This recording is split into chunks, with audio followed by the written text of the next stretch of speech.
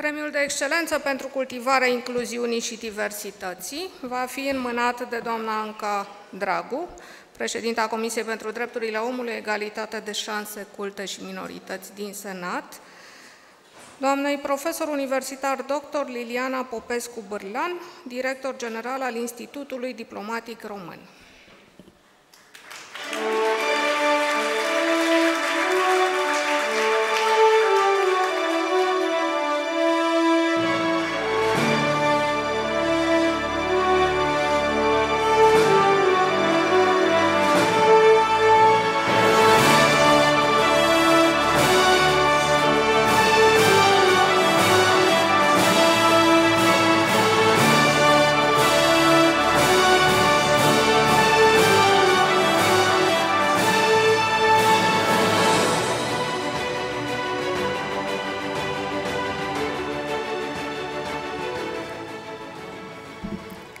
Seara, doamnelor și domnilor!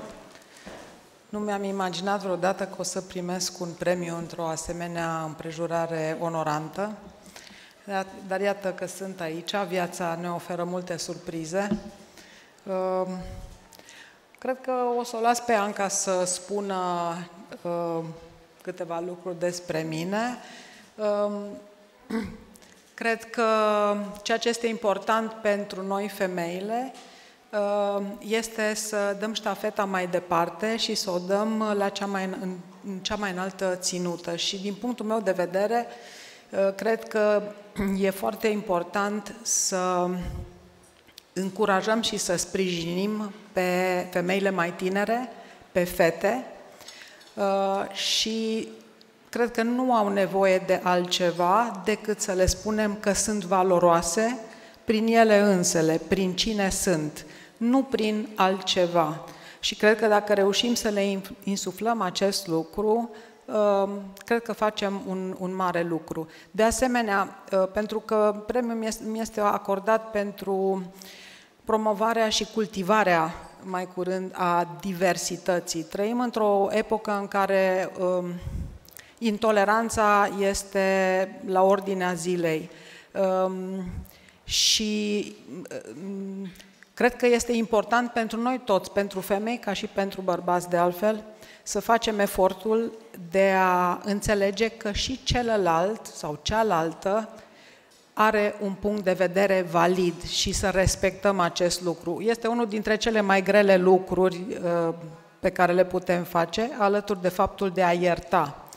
Uh, deci ceea ce aș vrea să, să spun, să, să transmit un mesaj, cu atât mai mult cu cât uh, am lucrat și mă bucur că sunt aici uh, militari, am lucrat împreună cu Ministerul Apărării și cu alte ministere reprezentanți um, pentru crearea unei strategii românești în ceea ce privește femeile, pacea și securitatea. Și cred că trăim într-o epocă în care realmente avem nevoie să uh, ne deschidem față de celălalt, să nu-l privim cu suspiciune în, în primul rând, ci să-l privim cu încredere pe celălalt sau pe cealaltă și pornind de acolo uh, să înțelegem că poate are un alt punct de vedere, poate lucrurile se văd altfel din acea poziție.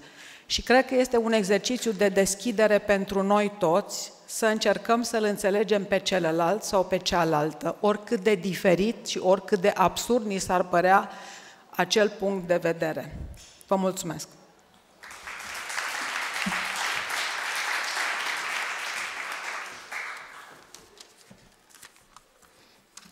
Vă spuneam că nu e simplu să premiezi, de fapt să alegi doamnele premiate la această gala excelenței. Um, Liliana Popescu Bărlan are o carieră impresionantă. M-am străduit să culeg câteva informații care să uh, Uh, vină să justifice alegerea făcută. Prezent este directoarea Institutului uh, Diplomatic Român. Este profesoară, profesoară universitară, este profesoară la SNSPA, unde predă politică externă și diplomație, teorii, teoria relațiilor internaționale, studii regionale, Rusia și vecinătatea estică a Uniunii Europene, construcție europeană și Mindful Research in Political Sciences. A studiat filozofie și istorie, are un doctorat la University of Manchester. Și trebuie să vă spun că eu știu când Liliana a plecat la doctorat și eram foarte mândră că știu pe cineva, am o prietenă care merge să studieze uh, în Marea Britanie, să facă un doctorat acolo. A studiat uh, acolo științe politice, iar teza, dizertația doamnei Popescu Bârlan se intitulează Individual Freedom and Political Manipulation. Cred că poate să ne spună multe despre ce se întâmplă zilele uh, de astăzi și să decripteze unele mesaje. Este activistă. Doamna Popescu Bârlan este o activistă convinsă.